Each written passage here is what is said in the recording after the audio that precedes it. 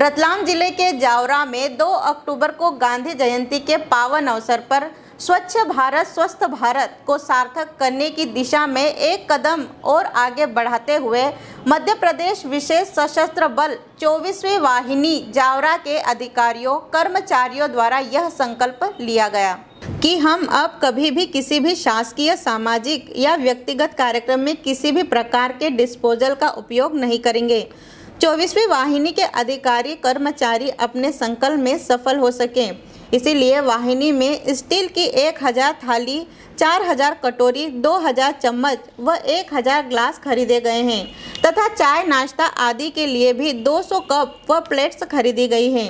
आज बटालियन परिसर का भ्रमण करते हुए पाया गया कि महेश चंद जैन जब से जावरा में पदस्थ हुए हैं, तब से उन्होंने कई रचनात्मक कार्यक्रम भी आयोजित किए हैं।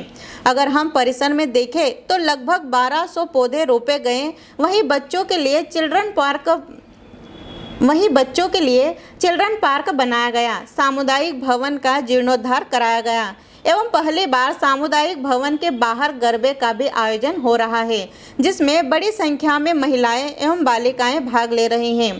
प्रतिदिन उन्हें पुरस्कृत भी किया जा रहा है। निरीक्षण के समय कमांडेंट महेश चंद जैन के साथ ही सहायक सेनानी सुभाष शर्मा, निरीक्षक यशपाल कुठरे एवं उप निरीक्षक गोयल भी उपस्थित थे। रतलाम से राहुल बैरागी की रिपोर्ट। हेलो फ्रेंड्स आप देख रहे हैं हमारा channel S W twenty four news हमारे सारे वीडियो सबसे पहले देखने के लिए आप हमारे चैनल को सब्सक्राइब करें और पास में लगे बेल आइकोन को दबाना बिल्कुल भी ना भूलें।